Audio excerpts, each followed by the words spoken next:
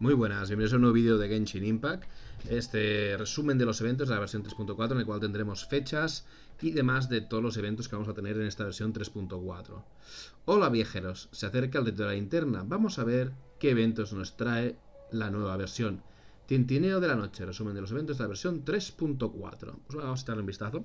Bueno, tendremos Tintineo de la noche, resumen de eventos, que bueno, tenemos este evento de login, evento de conexión acumulada, Fortuna a las puertas, que es básicamente un login que empezará el día 19 de enero y finalizará el día 3 de febrero y tenemos que hacer 7 días seguidos o, alternando. Son 7 logins y nos darán estos, este login, el primer día esto, el segundo día esto, el tercero. O sea, un total de 10 deseos, materiales de refinamiento, mora y demás. O sea, esto para hacer el login a partir del día 19. Bueno, una multi gratis, así que bienvenido es y demás. Lo único que nos piden es haber alcanzado el rango 5 de aventura o superior, o sea, bastante, bastante asequible realmente. Así que está bastante bien. A ver, eh, lo puedo decir, empieza el día 19 y luego es hacer, es hacer 7 días, o sea, como acaba el día 3 podemos fallar algún día sin problemas, pero bueno, mejor no fallar y así tenerlo lo antes posible. Luego empezará lo que es el rito de la linterna, que este, este año se llama Tintineo de la Noche, evento, y aquí es donde obtendremos el personaje de 4 estrellas de Liu que tú elijas.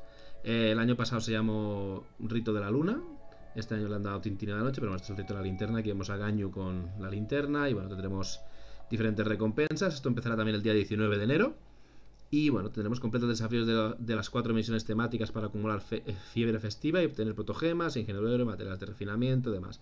Esto es básicamente el, evento de la linterna, en el cual podemos obtener un personaje de Liu eh, de 4 estrellas gratis. Entre ellos está Yao Yao, nuevo personaje, así que bueno, esto, esto será el día 19.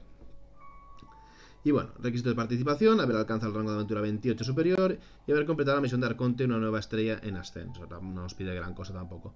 Para mejor experiencia, es recomendable haber completado la misión de Arconte, la grulla regresa con el viento y la misión legendaria de Elan Umbrabilis Orchis Acto 1.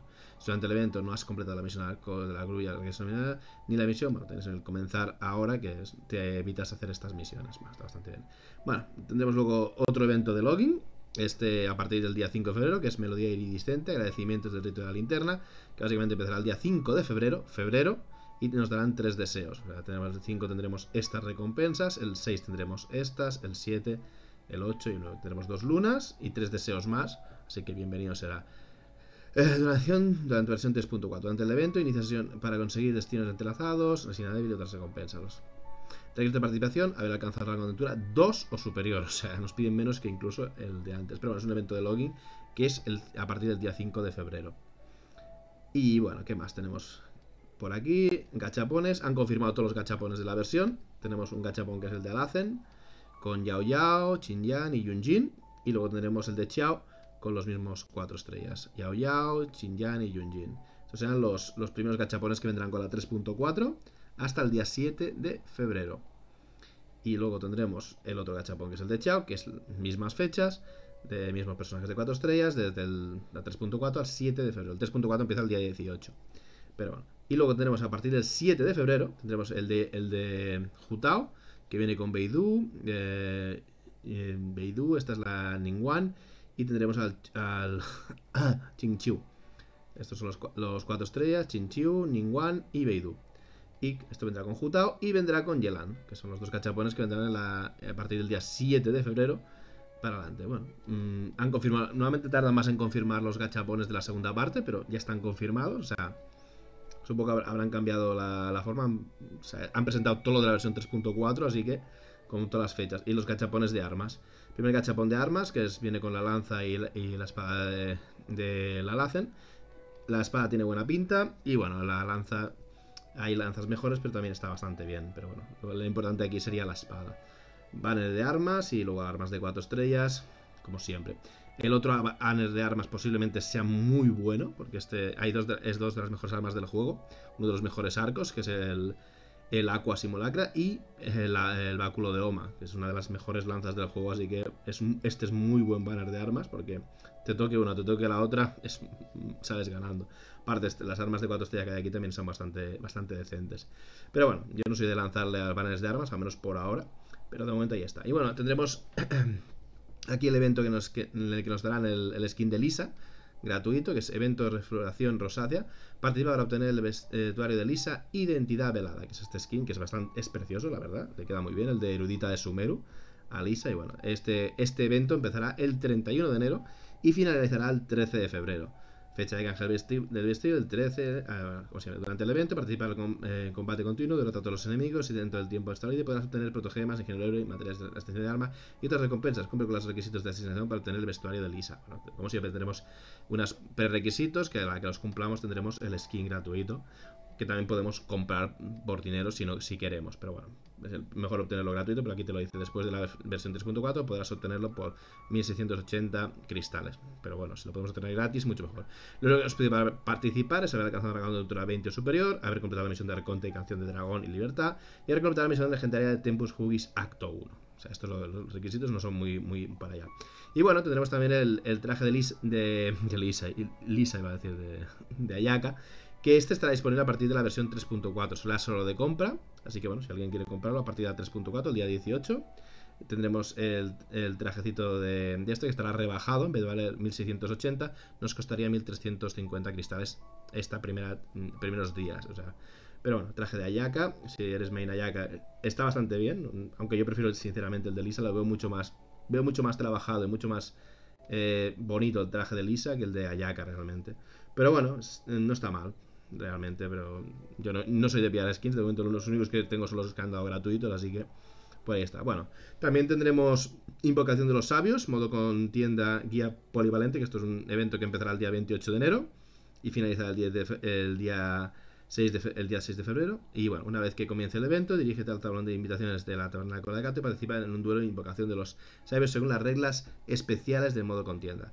Eh, completa los duelos y podrás obtener monedas de la suerte.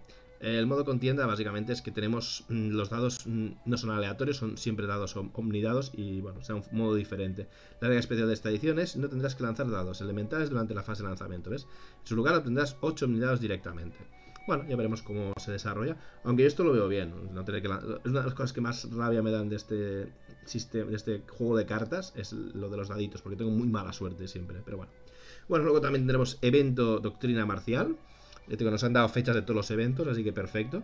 Eh, desafío de las espadas. Este es el evento de los parries, que tiene buena pinta. Lo tendremos a partir del 9 de febrero hasta el 20 de febrero. Durante el evento participa en el duelo marcial utilizando habilidades de bloqueo, parry, técnica intrépida, para oponente oponentes y poder obtener protogemas, materiales de, de talento de personaje, materiales de sendero y otras recompensas. ¿Cómo participar? Haber alcanzado la de 30 superior y haber completado la misión de Arconte, el plan de vida de Rito, que es la misión que nos introduce en Inazuma, así que no nos pide mucho tampoco, nivel 30 y demás.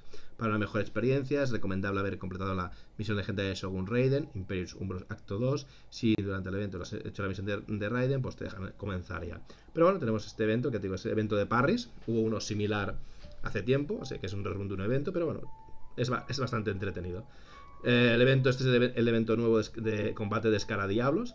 Evento, el sublime y glorioso gran torneo de Escara Diablos del ataque. Completa el desafío de Escara Diablos y podrás obtener protogemas. aquí solo tenemos protogemas. Este evento estará a partir del día 16 y lo tendremos del 16 al 27 de febrero. Durante el evento, dirígete a la Escara Diablos para participar en la desafíos de alcanzar requisitos correspondientes y podrás obtener protogemas, ingeniería, material de talento. Bueno, estos son los combates de Escara Diablos. Tiene buena pinta, la verdad. Eh, cómo participar, haber alcanzado la contra de superior y haber completado la misión de Arconte, el plan de vida de Rito. Lo mismo, es la misión de introductoria en Azuma. Tenemos que haber desbloqueado Inazuma, básicamente. Para tener una mejor experiencia, el evento completa la misión de Arconte, Senderos Peligrosos. Si durante el evento no has completado la misión de Arconte, pues te dejarán comenzar ahora. Y bueno, por último, en principio, tenemos el evento Sabiduría Desbordante, que es básicamente este que los dominios nos dan el doble. Así que bastante bien. Este estará a partir del 20 de febrero hasta el 27. Tendremos estos 7 días que podremos obtener materiales, el doble de materiales por resina normal. Pero bueno, eh, lo único que pide es haber activado previamente los dominios y el material de mejora de talento correspondiente. Y bueno, también tendríamos esta misión legendaria de Vulture's Both, que es la misión de Vulture Volans, que es la misión de Alacen, básicamente. Tuvimos en la 3.3 tuvimos la misión de Trotamundos, de Scaramouche, y ahora tenemos la de Alacen, que nos presentará un poquito más el personaje y veremos un poquito más de historia. Eh, duración disponible permanentemente después de la 3.4, que es el día 18. Tras llegar al rango de aventura requerido y completar las misiones previas, podrás usar las llaves legendarias para desbloquear la misión legendaria de hacen Vulture Balance. Tras alcanzar el rango de aventura 26, podrás desbloquear las misiones legendarias. Tenemos que tener rango 26 y ya está. Y bueno, por último tenemos los paquetitos de, de pago, que si queremos pasar por tienda, pues mira, tenemos unos paquetes, los de Mora, Mora y libros, eh, piedras y Mora, eh, libros y Mora, y bueno. Y luego tendremos el pase de batalla, que es Eufonia. Que bueno, tenemos el pase de batalla eh, lleva siendo el mismo desde que salió el juego hace dos años, así que poco que decir del pase de batalla. Si estás subiendo personajes es muy bueno, porque realmente tienes muchos materiales, en la versión de pago. Si no, realmente no aporta tanto. Y lleva sin aportar bastante tiempo. Y lo único que nos pides es tener rango 20 superior y demás. Pero bueno, ya está. Esto sería todo. La verdad es que un compendio de todo lo que nos va a venir, con fechas de todos los eventos. Yo, como siempre, los iré subiendo cada uno en su respectiva lista de reproducción y iremos subiendo poquito a poco todo y dejándolo todo más o menos subido y ya está, poquito más que añadir. Con ganas de también de la nueva zona, que aquí no te dicen, pero a partir del día 18 tendremos también la nueva zona del nuevo desierto para explorar y demás. Pero así que poquito más que añadir. lo digo como siempre, gracias por vuestro tiempo. Saludos y hasta la próxima.